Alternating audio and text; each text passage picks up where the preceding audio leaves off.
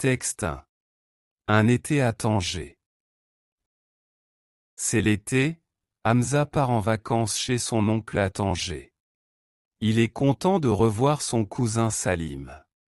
Chaque matin, après un bon petit déjeuner, ils prennent leur sac et vont à la plage.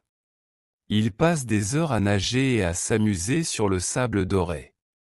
Quelle joie d'être en vacances. C'est l'été, Hamza part en vacances chez son oncle à Tanger. Il est content de revoir son cousin Salim. Chaque matin, après un bon petit déjeuner, ils prennent leur sac et vont à la plage. Ils passent des heures à nager et à s'amuser sur le sable doré. Quelle joie d'être en vacances.